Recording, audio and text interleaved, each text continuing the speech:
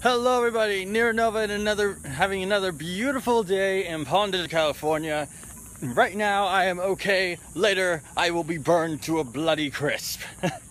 I just got off work. I went in for an early shift for truck duty.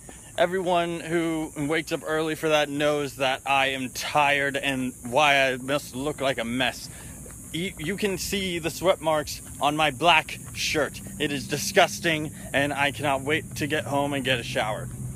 Why am I talking about this? Because I actually went inside the truck today and was the one pulling out all the boxes for everyone to unload. This is a, it was like my uh, third time doing truck duty and it was pretty interesting. I felt like one of my coworkers put it the best way. I felt like I was playing reverse Tetris. Like instead of trying to stack the boxes, I was taking them all apart. It was so much fun. It was a game to me. I was just pulling them out, strategically playing with them. I was tapping on the boxes and making the higher up ones fall. It was so much fun. I just wanted to share that with everyone because it was just weird how fun that was.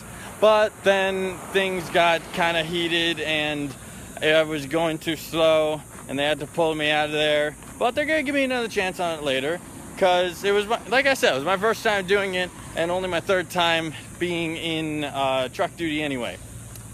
But second job's going good.